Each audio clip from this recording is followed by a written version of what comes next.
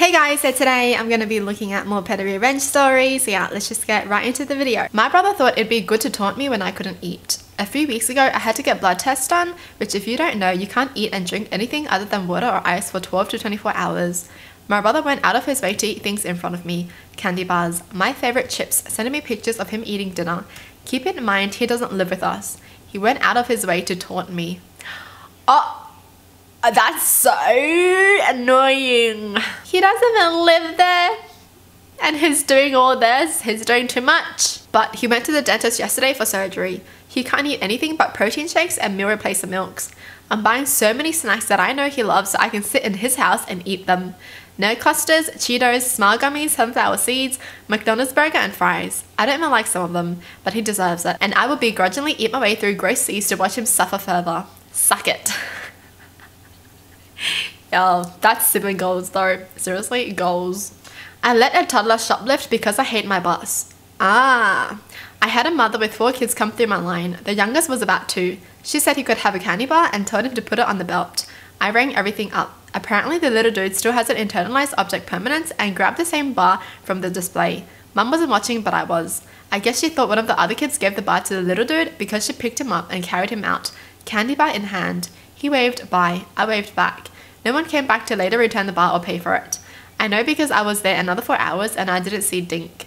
Corporate treats us like shit so they can afford a missing candy bar. Mum probably didn't notice a second bar either. Oh hey, this is innocent. they didn't even need to do anything. No. But how true is that line though? Corporate treats us like shit. Honestly, companies only care about money. They don't really care about their workers. How sad. But without the workers, then we'd be making shit. Don't hold the lift? Okay, then I'll waste your time. This happened just now as I was getting home. It was raining and I had no umbrella, so I went to get back to my house to dry off. Well, a delivery guy beat me inside the building and managed to be 5 seconds ahead of me and stepped into the elevator and pressed the closed door button, knowing that I was right behind him, pretty much closing the doors in my face. So there I stood, wet tired and now mildly angry. That's when I decided that going home can wait. Petty revenge was more important. If I had to wait for the elevator, then so does he. I noticed he got off on the 24th floor, so I called the elevator back and stepped inside. I pressed all the buttons on the way up. I got off on my floor and waited for it to stop on the 24th floor. Then knowing he was on his way down, I called the elevator so it would stop one more time. I don't care that I wasted some more of my time, but knowing that I wasted his in return gave me a little satisfaction. These are actually so petty. but yes, uh, this is the kind of person that I'll be.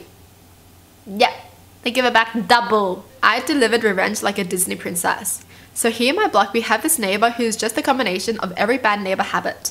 To make things more visual, we're mainly talking about half a block here, except the one in the middle that is a car detailing and accessory store. So this store's roof makes every house on this half block visible to each other. So the major complaint is the noise this guy blasts trash music all day long, which will not be a problem if this guy respected the volume and time allowed.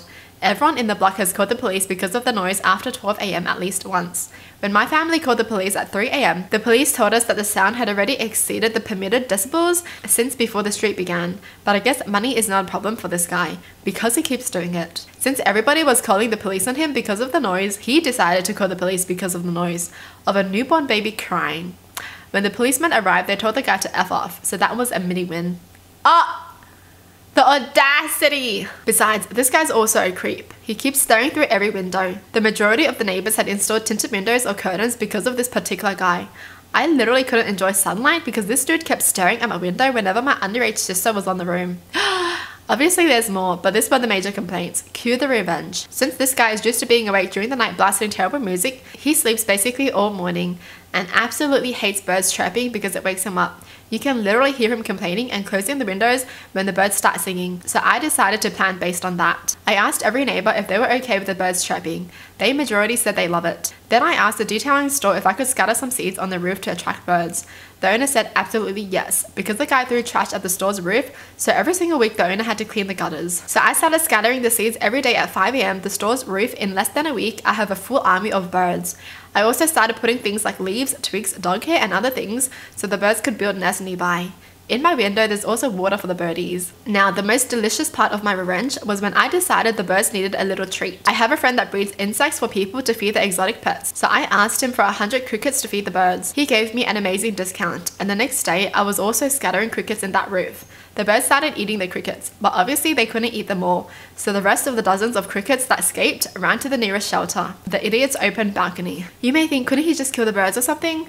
Well, he tried, but the odds are in our favor, because the birds that come chirping on his windows are protected by ambiental law. So if he tries to harm them, he'll pay a much more expensive fine than the sound pollution one. Now, my block is the only place in the ghetto where you can wake up every day like a Disney princess, with more than 30 birds chirping, and the sounds of a very distressed evil neighbor.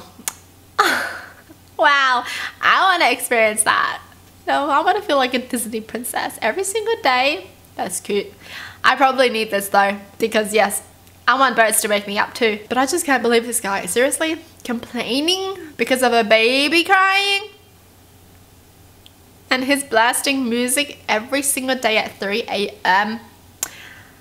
How annoying. And the fact that nothing happens to him because he can just pay the fine, right? He's rich enough to just pay it off.